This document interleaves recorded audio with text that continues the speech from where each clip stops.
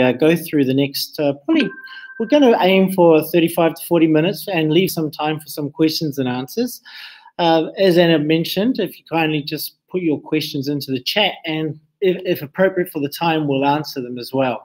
But really, I, I think one of the big reasons why we're here tonight is to assist our parents into understanding what is RSE at DBIS and hopefully to uh, remove any um, I guess, anxiety, if that's what is in the community, uh, based around what are our kids being taught and uh, why are they being taught this. So there has been a journey with this. I did discuss this in one of our earlier uh, parent uh, afternoons that we spent together, but it has been a journey over a number of years.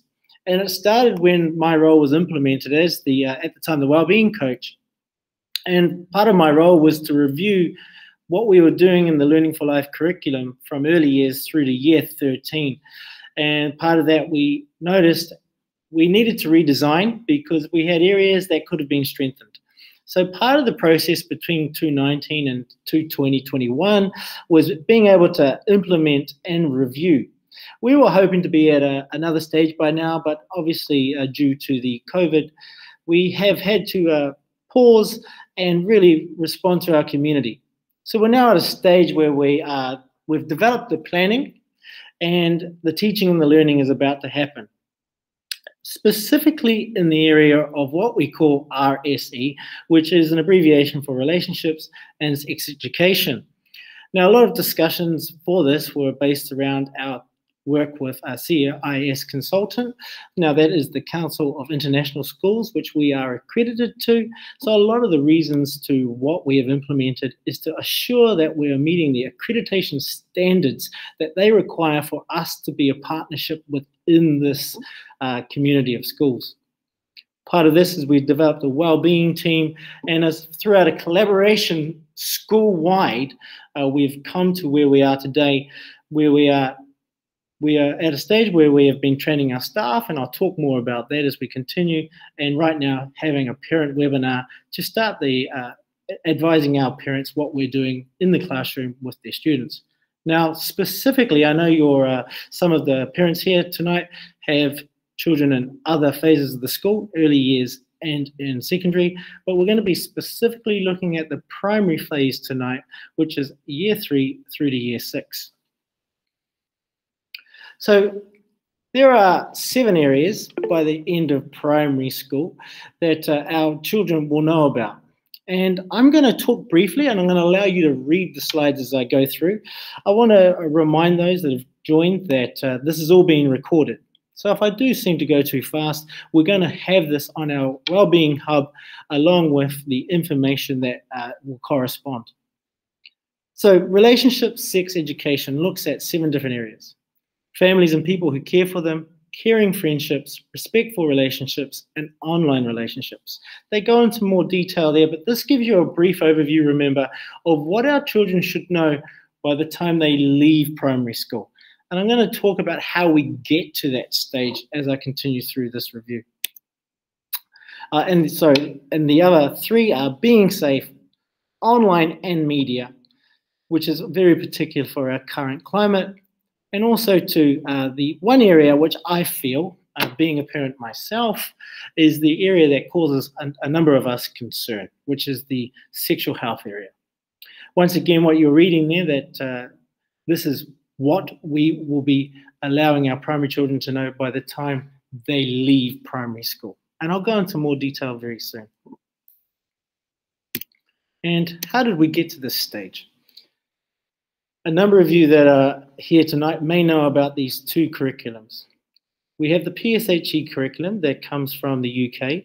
Now, some of you that uh, have relations back with the UK will understand that the UK have gone through some statutory gu guidelines for what their children uh, in their schools must have delivered to them.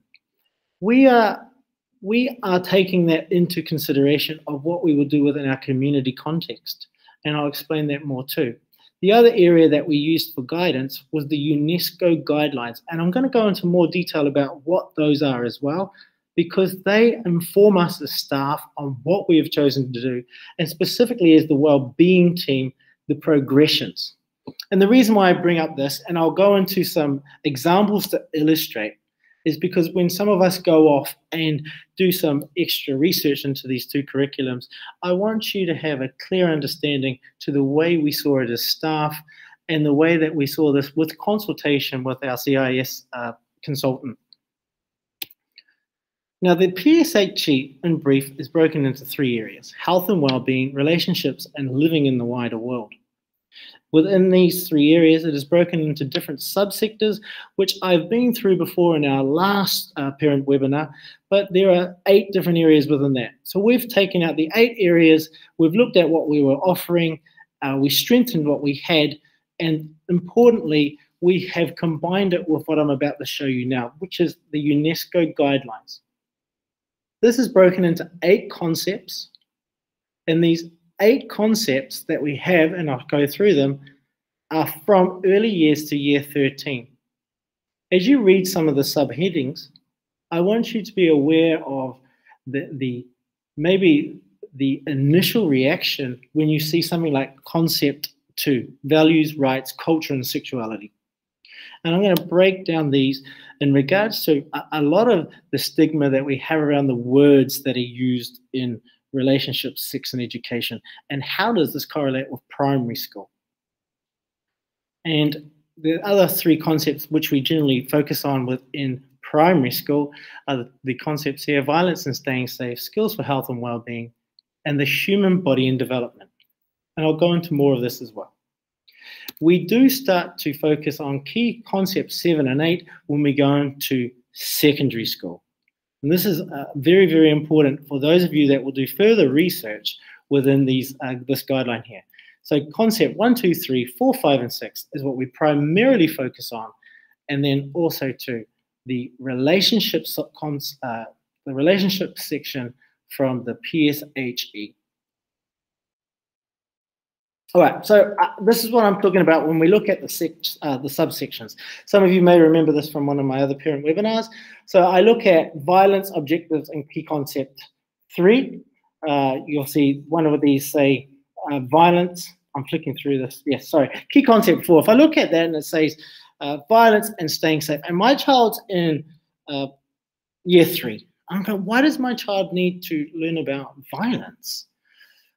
When we look at what the objective actually is in year three, it's important to be able to recognize bullying and violence and understand that these are wrong. So learners will be able to define teasing, bullying, and violence. They acknowledge that bullying and violence are wrong, that are never the victim's fault, including violence that is carried out by a family member or other adult, etc., etc. Why do I want to illustrate this in full? Because a, a number of our community, including myself, will see certain subheadings and right away, once again, as I mentioned before, because of how we relate to these particular words, we sometimes think the worst. And if my child is in year three, year four, year five, year six, even, depending on my background, my, my own culture, my own religion, uh, my, my own thoughts about who should be teaching our children, I therefore will come to a judgment. But what I want to be really clear is that there's been a large amount of thought that has gone into the planning of what is age appropriate. And I'm going to go into more about that very, very soon. So why do we teach RSE? I won't read this word for word, but hopefully as I'm talking, um, I hope that you can read through. Really, the, the important part from my own personal opinion, but also my, my opinion as a staff member, is that we want our children to be informed.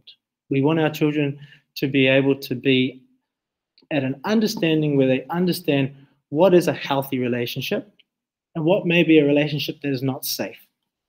What is appropriate touch and what would be an inappropriate touch? What are the names for the parts of my body? Who do I speak with if I am unsure? If I do have some concern? We want our students to be informed of what it is to be kept safe. The second part, now that our online world is an important part of what we do every day, we want our students to be safe in the online aspect of their learning, of their development. We want them to be able to correlate relationships in the world and also in the online world. We want them to have an understanding at an age appropriate time what is safe and what is unsafe. We want our children to be informed in a way that is factual, that is non biased, and that our children have a knowledge of their changing body so that they are prepared for the changes that will occur. So that all of our children will never at a time feel that there is something wrong with them. I know that this raises certain emotions depending on our personal view, but everything is done in such a way that the heart of all this is for the safety of our children that come to DBIS. I want to be very clear here. At primary school, we do not teach or discuss the Sex Act. This is part of the secondary school science curriculum. Within our own science curriculum within primary school, which is dealt with through the discovery concepts, there is a large amount of talk that is spoken about through animals, through plants. All of these intertwine with each other. So our children also, through other areas of the curriculum, will be discussing such language. But the one thing that I find really important to discuss and inform parents is, is that our children will find out. And if our children are having this education within an environment that is factual, that is non biased, then they will find out the information that is appropriate to their age, that is appropriate in an environment where they can discuss it with staff that have been trained to inform them appropriate for their age. Now, I also want to be really clear here too. Our staff have been trained that if there are inappropriate, inappropriate is the wrong word, if there are questions from our students that are not part of the age progression, and our teachers have clear guidelines on this, that they will inform our students in a safe way that they can go home and speak with mum and dad about that. And we will have processes that will follow that up as well. Miss Lees, do you have anything to add there while I get myself a drink of water? um, I think it's been really comprehensive so far. Thank you, Mr. Broderick. Um, Yael asked a, a really good question about lessons and will they cover vocalizing healthy boundaries in relationships? To which I replied to say yes. Um, and actually, one of the objectives links to uh, boundaries and sort of consent and how to have a positive working relationship. Um, within within homes, within families, within school, within many different contexts. Um, and also the objectives that we're actually teaching with through the RSE units, they'll all be sent home to you in year group specific letters. So we're only sending home the ones that specifically relate to relationships and sexual education, purely because if we were to send home everything that linked to um, health and well-being, with regard to the you know the children's safety online. It's a it's a huge document, and actually from conversations with parents, we think that the area that or the, what you need the most reassurance to know that actually this is what is happening so that you can follow up with conversations at home in particular and be aware of those of the objectives that are being taught. That's why we're sharing those specific objectives with you um, and they'll all be shared prior to the lessons being taught. So you'll be aware of the days in which they're being taught or the date in which they'll start those conversations and um, and the objectives that will be taught across those sections of um, of the Learning for Life curriculum. So I wanted to illustrate when I talk about age appropriacy and progressions, I want to use, uh, so we have a subsector I talked to you about that is broken into a number of subsectors and relationships is one of them. And as you can see in front of you, I really wanted to illustrate how it progresses. Um, I know you, uh, this can be read, but it starts in year three and it's simply how can friendships change over time, about making new friends and the benefits of having different types of friends. And as we go forward, uh, year four, it already progresses. We start looking at what constitutes a positive, healthy friendship. We start talking about the values that we see. And then we start talking about where do I get support with problems and difficulties? And how this applies to online friendships as well. So we, we talk about this in year four. And in year five, we move forward to how peers can peers can influence our desire for peer approval, and how do we recognize the effect of our online actions on others? And then in year six, as we're getting ready to move off to uh, secondary school, how do we recognize if a friendship is making us feel unsafe or uncomfortable and how to manage this and ask for support if necessary? Now, this is one illustration of how we uh, ensure age appropriacy and progression. And as uh, Ms. Lees has already touched on, you know, we have we have hundreds of outcomes that we cover within the Learning for Life uh, uh curriculum. And all of these outcomes, by the time they get to the year six overview, right, is broken down like this. Now, when we do research in the PSHE curriculum and also to the UNESCO curriculum, those that will see that, it's really important that uh, if you do the research, that you notice that the amount of time and effort and assurances that we've made as a staff to make sure that this does this meet with what we're seeing in our classrooms uh, from the review? Is are these the gaps that we saw? And then of course we've got overlapping that the the requirements that we have to meet for our accreditation as well. And I'm going to talk more about our work with our community very soon. So at all times, of course, being the head of well-being, well-being is uh, at the forefront of what I have uh, in regards to our students. So I recognize that part of being taught, and once again, specifically in regards to the RSE component. Remember, this is only part of the Learning for Life curriculum. But when we deal with aspects of um, the RSE. You, as parents, may know that our students have had personal experiences, okay? Or you may, as a family, have personal views. We encourage you to talk with your classroom teacher. Once, as Ms. Lees has already spoken about, once the letters have been sent to you as the parents of our community, specifically relating to the year group your child is in, if there are concerns about experiences that your child may have had, or maybe you want to uh, uh, strengthen the teacher's understanding in something that could be used uh, that is in the community being discussed. We had a, a quick chat about uh, the discussion that's already happening within our community groups. If there are things being discussed that may assist our teachers, uh, assist our students, these are definitely things that we would encourage to happen. So personal experiences, personal views, negative and positive as well. Please talk to your classroom teacher in that instance. Um, as always, parents do have the right to withdraw uh, from part of the sex education aspects. Would encourage you not to. Uh, that is because why I've, what I've spoken about before. We would rather your children have the opportunity to be part of what their peers are learning, being part of a, a, a environment where the information is age appropriate that it is non-biased, etc. But if for some reason you as the parent chooses to withdraw, then a request needs to be um, made through with the classroom teacher and there will be uh, a meeting taking place so that we can discuss obviously the benefits but also too that we can record it as part of a process. So what next? As we move forward we're going to be continuing to plan and embed.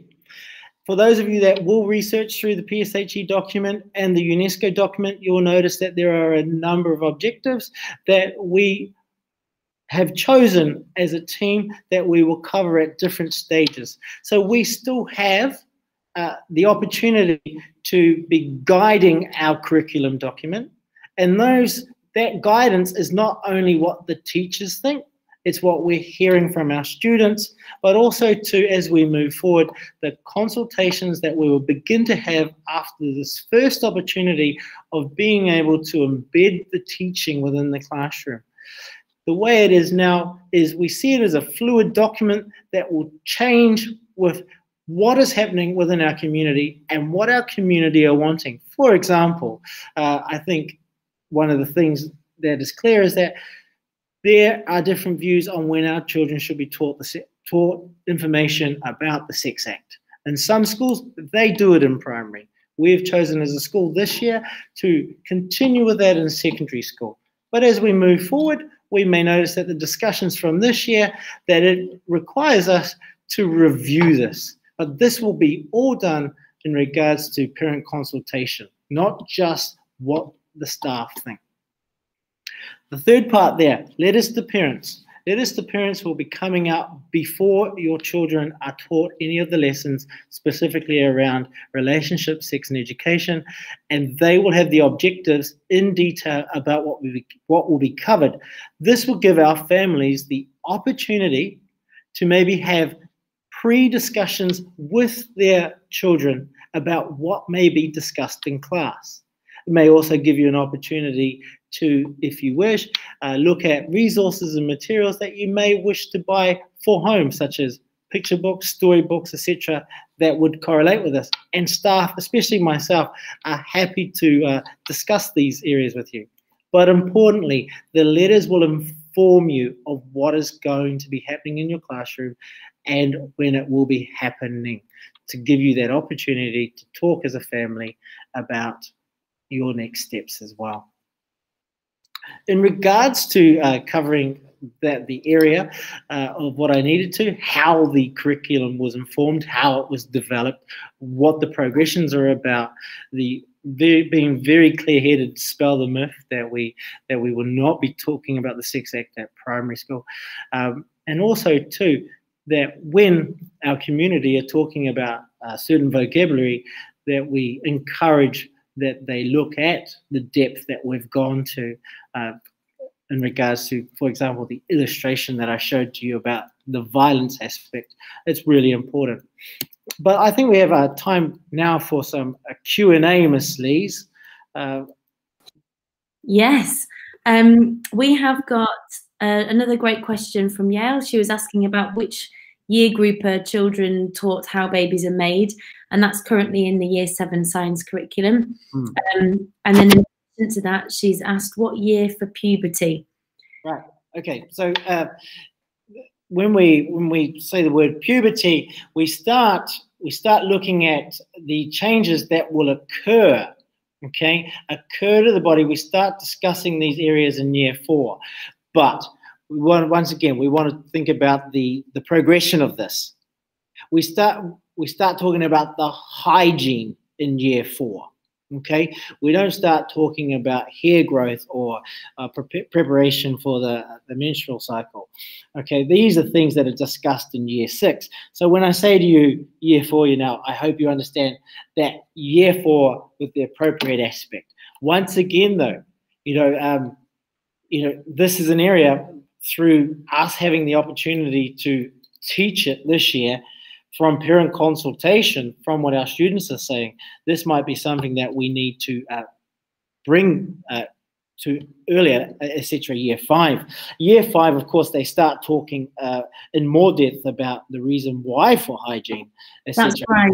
So I've got year five objectives mm. here. Now. Um, and year five, it starts to think about being able to identify uh, the external genitalia um, and internal reproductive organs. And again, that's touched on with both animals and humans with regard to um, human reproductive systems um, and links to puberty. And then the other key objective in year five is about how hygiene routines change during puberty and the importance of keeping clean to maintain personal hygiene. And then when we move into year six, it's thinking about um, in fact it's, it's, a repetition of that same objective about keeping keeping themselves clean and how important that is. And then you as as um, mr broderick started to say then about the physical and emotional changes they're touched on in year six thinking about when you're approaching puberty. And of course with um so many of our children now they're facing puberty and they're hitting puberty at a lot younger age. So so having conversations about puberty in year five and um, is really important because many of our children uh, do start with their periods in year five. So we often need to adapt, and sometimes they're small group conversations or one-to-one -one conversations, and that's why the role of the classroom teacher is so important, or the year group leader, or any trusted adult in school or the relationship between the parent and the teacher as well is, is so important. So that if a child is going through puberty perhaps a little earlier than their friends, then they know that they've got a safe space. They know that they can go and visit the nurse. Um, if they've had an accident, they know that there are um, resources for them to use down in the nurse's station very discreetly.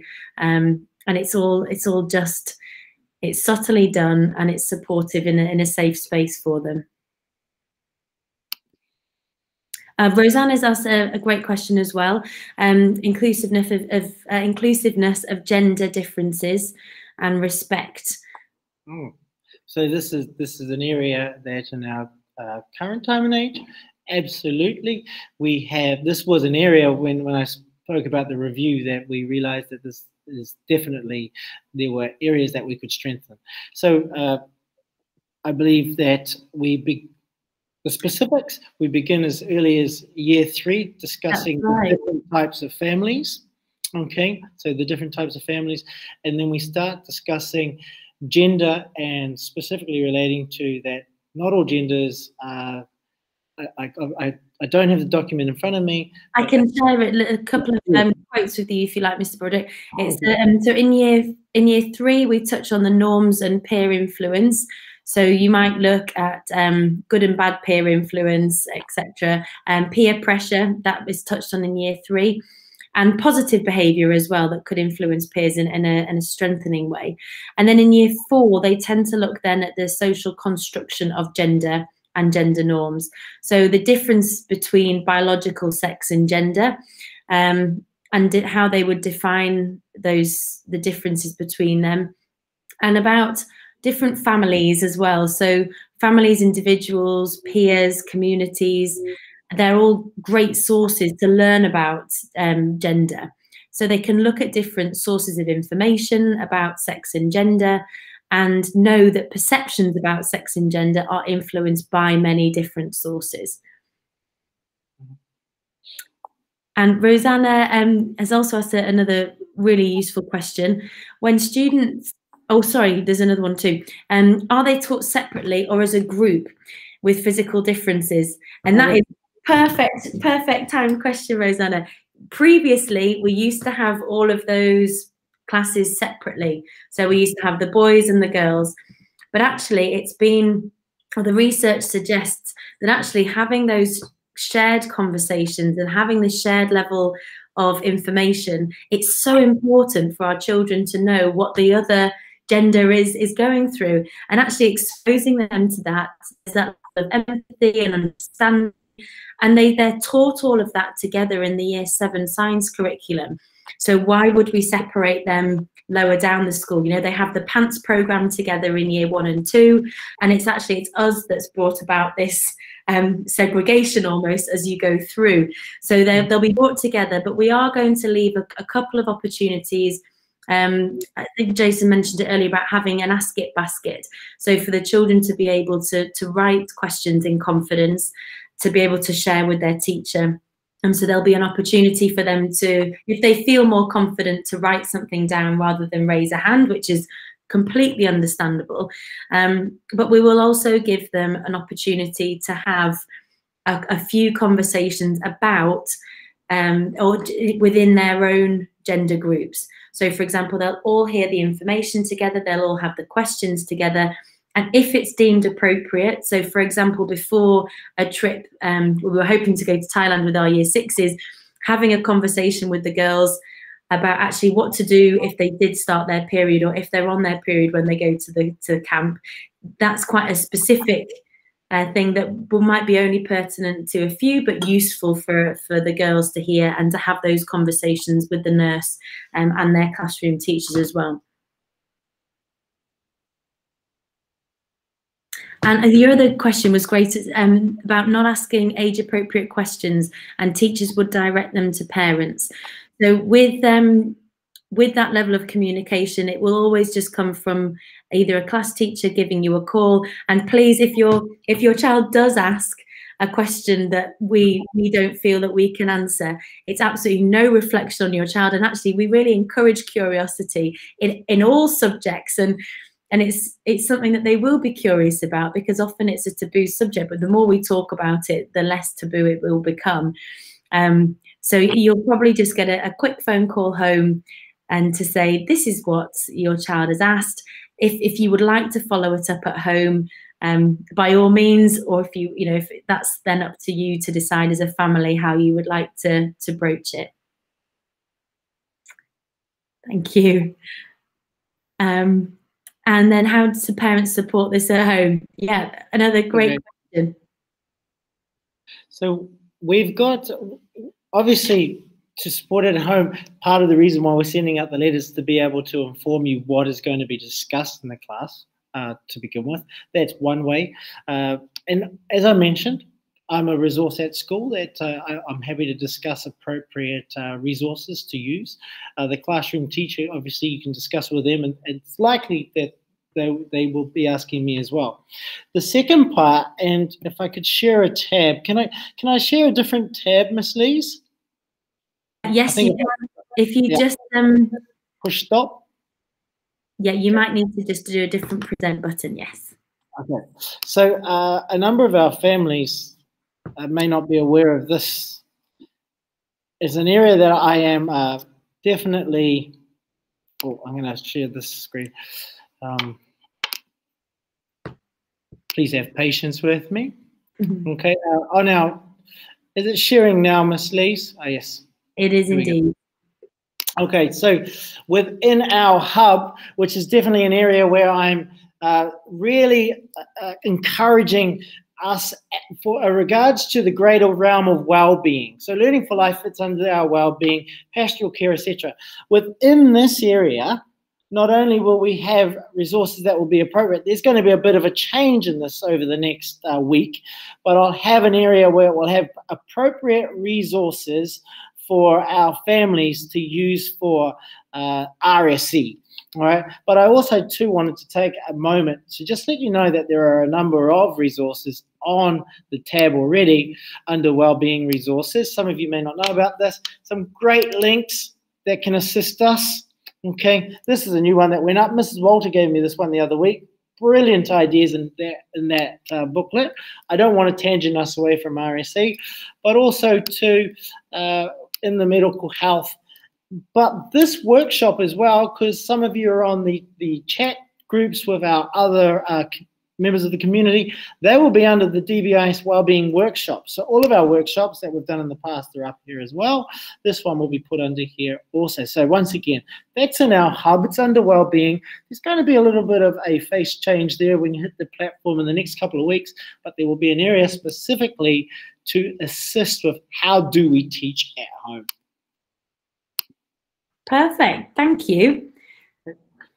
Your your questions and, and all of your comments have been so incredibly positive and um, it makes a massive difference to to feel that you're that you know that you're part of this journey and that you're supportive of that so the fact that you've all attended this evening is hugely appreciated thank you and as jason said this recording will be available for for any families that might want to watch it. But we're, we're also here open door policy. If there are things that you'd like to talk through with us certainly when you get those letters home and they you have the objectives talk to your classroom teacher talk to your year group leader talk to us. And often it's just a case of of taking away any of, of our concerns because actually the way in which they'll be delivered to the children is in an age appropriate manner.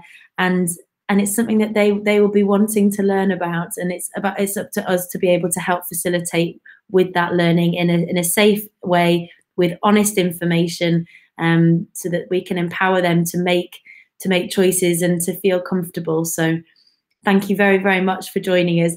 I'm going to stop the recording now. Was there any other questions that we can help to answer before we sign off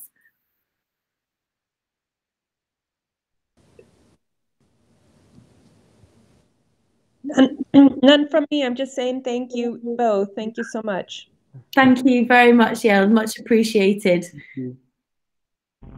Oh, I just wanted to ask if you could send that link uh, with the letter because most parents won't go through this recording and uh, the information. So if the link to the all the well-being and the you know the resources you have, you could add that to the letter because they will read the letter, but they might not go to the hub. You know so that they can go and do their own research. That's a great idea. Thank you, Rosanna. Perfect. Right. Well, I'm going to stop the recording then. Thank you very much, Mr. Broderick.